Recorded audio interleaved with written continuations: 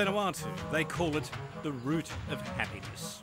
These humble plant roots are the key ingredient for the Pacific region's great traditional drink, kava. And Priya. Priya.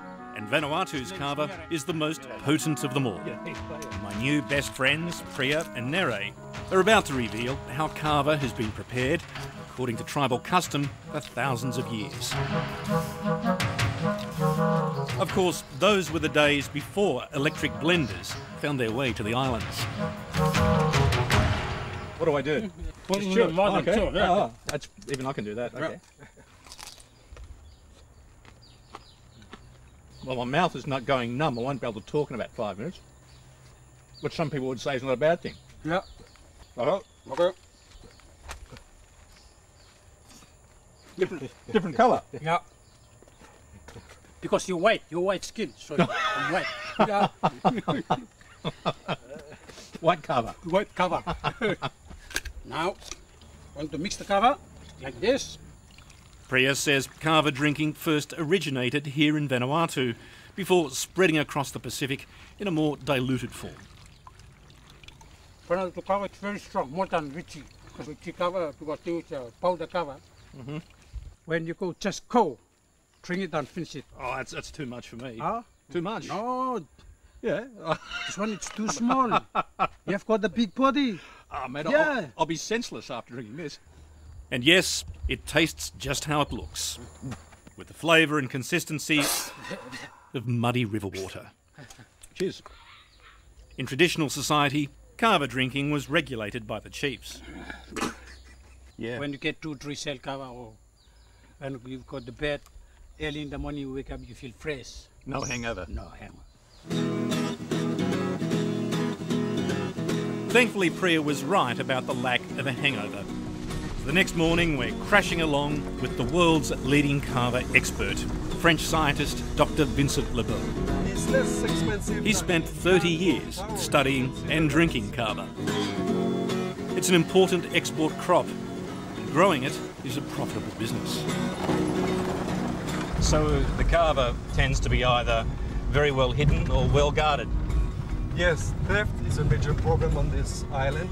It takes about three to five years to cultivate kava, and therefore it's a highly valuable product. Let's go down this way, I think. About 15,000 hectares of kava is cultivated on the more inaccessible outer islands. This way. But here on the main island of Efate, the plants are concealed in forests and vegetable gardens. Careful because, These are plants? yes, these Yeah. are plants. Here they are. This is a very young one. This is called Piper methysticum. Comes from the Greek methystikos, which means uh, intoxicating. So it's the intoxicating pepper. It's the same family as the black pepper that we are all uh, using, but it's well known for its inebriating properties. These roots are the roots that we are using. Dr. Well, Lebot says very kava yellow, isn't addictive. And these active ingredients exist only in It's used in traditional medicine, Plants both as an species. So effective antiseptic and anesthetic. If you chew that, you feel the local anesthetic effect. I've experienced that. In fact, it felt like a trip to the dentist. But in Europe, there have been deaths attributed to kava based health tablets. As a result, kava is now banned in Germany, France, the UK, and Canada. Dr. Lebot says kava isn't the problem, it's the chemicals used to produce the pills. So, what they were selling in Europe, was it kava? not at all. It was something else.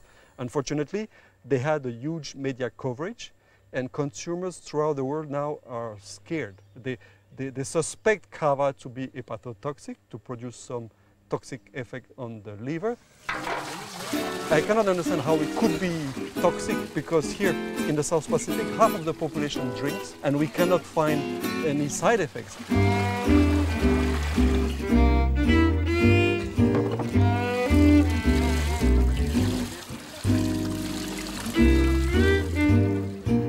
outsiders drink Vanuatu's potent traditional kava, most preferring the gentler brands found in supermarkets. It's powdered and much weaker.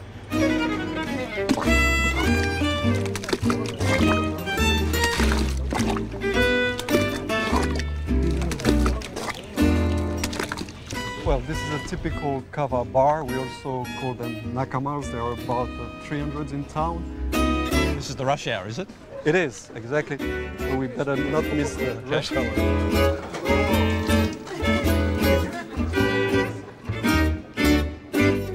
This tree, it's extraordinary. This is a typical banyan tree. Uh, we call them nabanga in Vanuatu. And Yeah. in the islands, the nakamals are always set up underneath the banyan tree. Yeah? Why, Is, why is that? Well, that's for custom uh, purposes, I mean ceremonial purposes, and they believe that the spirits are having their house somewhere into the roots of this uh, huge tree. But this is no ordinary nakamal, is it? I mean, where, where are we here? Just Well, explain. this one is uh, a little bit uh, special because we are just across the road from the parliament. Oh, okay.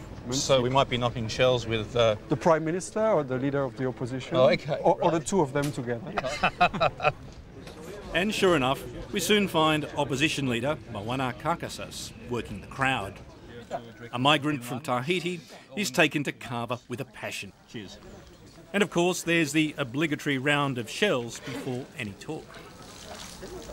Wow. Ah, put some bite in it. Oh, okay. What impact does the kava have, if you like, on the standard of political debate? It's right next door. Since uh, we have uh, lots of kava drinking, we have less problem. Uh, before drunkenness was a problem. People drink alcohol, Yeah. they fight. Yeah. With kava, we don't have any more this problem. Kava bars didn't exist before Vanuatu's independence in 1980. All this is the product of social engineering, designed to lower the crime rate.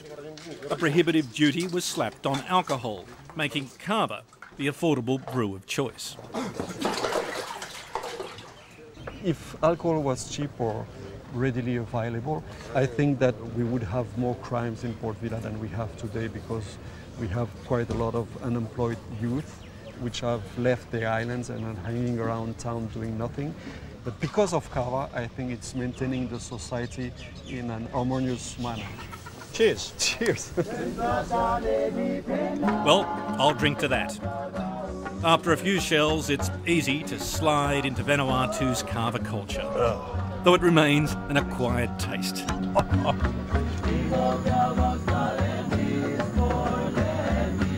A recent international survey declared Vanuatu's people to be the happiest on earth.